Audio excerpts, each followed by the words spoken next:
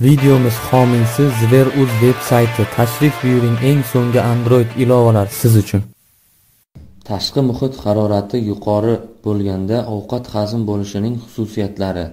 Tashqi muhitning yuqori harorati odam organizmining fiziologik jarayonlariga ma'lum darajada salbiy ta'sir ko'rsatadi.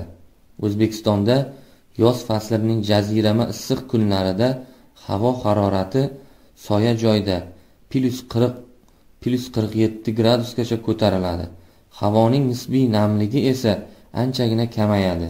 Bunda nafas olish tezlashadi, ter ajralishi ko'payadi, organizm ko'p suv yo'qotadi, qon quyuqlashadi.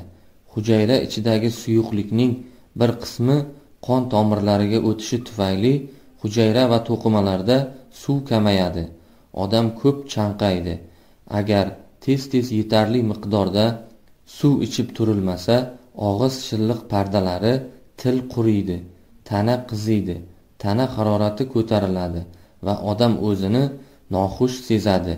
Ish qobiliyati pasayadi, tez charchaydi.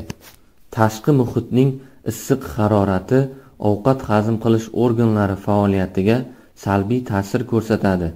Yoz faslida so'lak bezlari, me'da ichak, shilliq pardasi ostida joylashgan mayda bezlar me'da osti bezining ish faoliyati susayadi.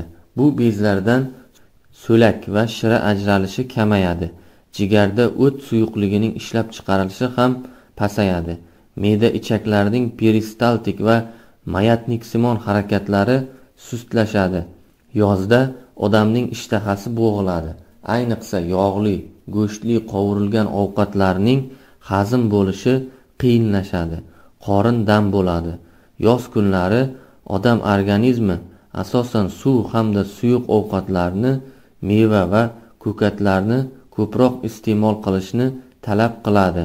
Kaloriyaga boy yog'li ovqatlarni iste'mol qilish kamayganligi uchun odam yoz kunlari tez charchaydi, ish qobiliyati pasayadi. Yozda me'da ichaklarda shira ajralishining kamayishi Ular harakat funksiyasining pasayishi, ovqatning hazm bo'lishi va so'rilishini sekinlashtiradi. Bunda ichaklarda mikroblarning ko'payishi uchun sharoit tug'iladi. Bundan tashqari, issiq sharoitda tayyorlangan taomlar tez buziladi, chunki ularga tushgan mikroblar tez ko'payadi va o'zidan zaharli moddalar ishlab chiqaradi.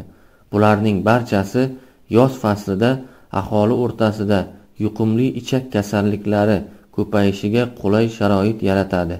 E'tiboringiz uchun rahmat. Kanalimizga obuna bo'ling va videoga like bosishni unutmang.